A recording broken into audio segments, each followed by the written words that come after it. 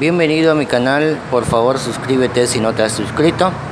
Eh, resolvamos este ejercicio que nos dice la suma de los coeficientes del segundo y tercer término de la expresión y nos da el valor y nos pide encontrar obviamente esa suma.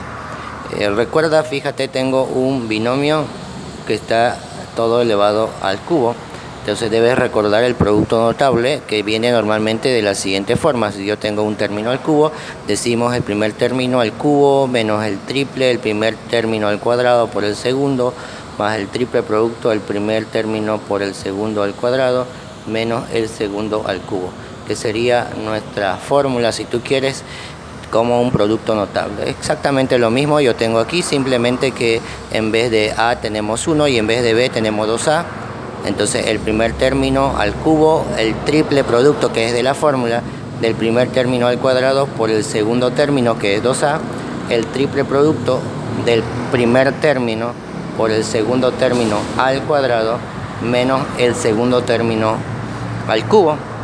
Y simplemente debo desarrollar 1 al cubo es 1, 1 al cuadrado es 1, por este 3 sería 3, por este 2 sería 6 y a, aquí 3 por 1 es 3, 2 al cuadrado es 4, 4 está multiplicado por 1 y por 3, sería 12, a elevado al cuadrado, 2 al cubo sería 8, a elevado al cubo. Este sería el desarrollo del, de este producto notable, pero lo que me piden es la suma de los coeficientes del segundo y tercer término. Este es mi primer término, este sería mi segundo término y este sería mi tercer término. Entonces la suma de los coeficientes, los coeficientes son los números que están antes de las letras. Entonces vamos a sumar menos 6 y más 12. Es decir, lo que me está preguntando es cuánto es la suma de estos dos numeritos, menos 6 más 12, el segundo y tercer término.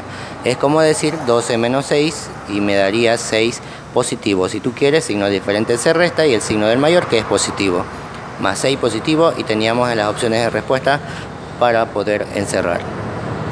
No te olvides compartir con todos tus amigos y compañeros.